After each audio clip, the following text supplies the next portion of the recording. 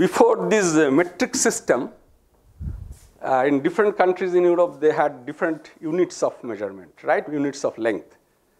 The French had some unit of length, the Germans had some other, British had some other like that, okay? And then came the metric system, and they wanted to unify all these things, so they wanted to define a common unit of length called meter. And you know how meter was originally defined?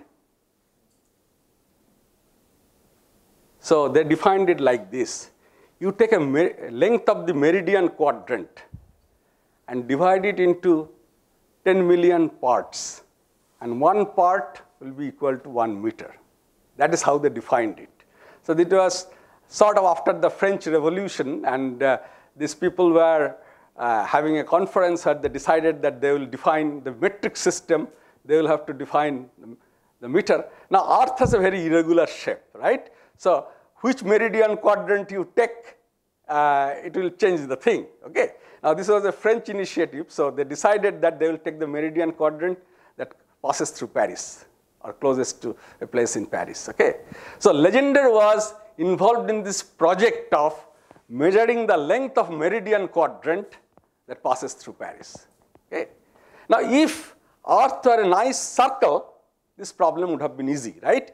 You can just look at the arc length for one degree latitude and multiply that by 90, that will give you the length of the meridian quadrant. Unfortunately, Earth is not a nice sphere. So it's not, a, so if you take a section, it's not going to be a circle, it's going to be an ellipse.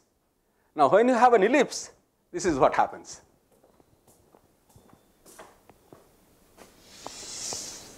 So this is the ellipse. Say this is the equator and these are the poles. So how do you calculate the latitude? At each point, you look at the tangent and the normal. And this normal will make an angle with the equatorial plane or equatorial line, and that's the latitude. Now, if it were a circle, all these normals will pass to the center, and it will be a simple uh, problem in geometry or algebra, whatever you like to call it. Okay? Unfortunately, for an ellipse, that's not the case. And as a result, what will happen is that it's like if I look at one degree latitude here, and I look at one degree latitude here, that will be much bigger here.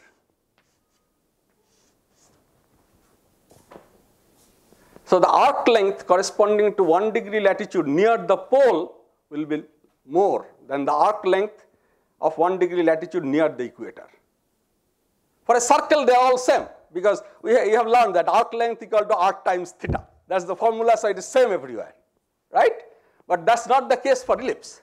In fact, for ellipse, uh, they found out that there is an approximate relationship like this. If you denote y equal to the arc length for one degree latitude at latitude theta, then y is equal to some constant, let's say c, and then some constant m into sine square theta.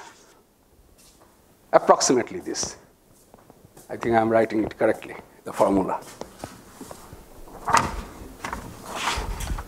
Yes. So, Legendre's idea was somehow you have to calculate the value of m. So, this is not an exact relationship, this is some approximation. So, and this approximation will be good if the uh, if you consider a very small arc length. Okay? So, it's like instead of 1 degree, if you call, consider something like an epsilon degree arc length near theta, then this approximation will be very good. Okay? So, Legendre decided that he will calculate the value of m and c somehow from the data, and then he will calculate the length of 1 degree latitude for different theta and add them up. That will give him the meridian, length of the meridian quadrant. That was Legendre's approach. So Legendre actually was commissioned uh, in a body where his responsibility was to get these arc measurements and then analyze them.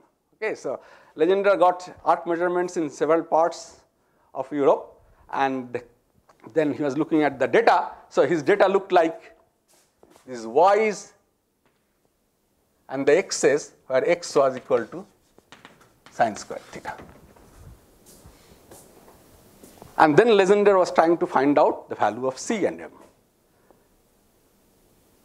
And that is how he ended up inventing the least square. But before Legendre, people tried this problem for various reasons. Okay, Legendre was not the first person who tried this problem. Okay, Legendre ran into this problem, but this is a problem that was much older than. Legendre was looking at it around 1792, and this problem came in 1750, and many people looked at it. Now, before Legendre, when people were looking at it, instead of solving the problem by the method of least squares, they were trying to solve this problem. So they were trying to solve this problem, yi mxi. So the, the least absolute deviation problem. So the data was y, let's say x1, y1, xn, yn, and people were trying to solve this minimization problem. Okay. Now, this is something that's much harder than the least square problem. For least square problem, you have a very nice formula for the solution. And that is why it became so popular. And Legendre became uh, famous for many reasons, and this is one of the reasons. Okay? So, uh, this was a problem uh, that came before Legendre, but nobody knew at that time how to solve this. It was Gauss who finally gave a solution to this problem. Laplace also tried and gave a partial solution to this problem, but he couldn't solve this problem completely. In fact, Laplace tried this problem, and I'll write down the second problem. So Laplace tried to solve this problem also.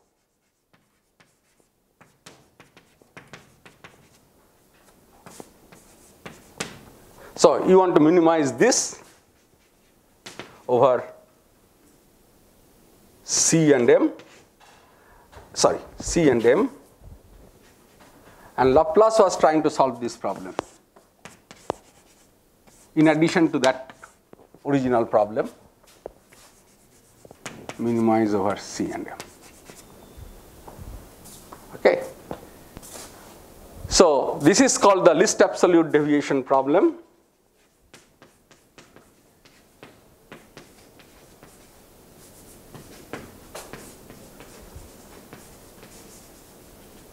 And some people call it the Chebyshev problem because it is Chebyshev who gave a solution to this problem. Okay.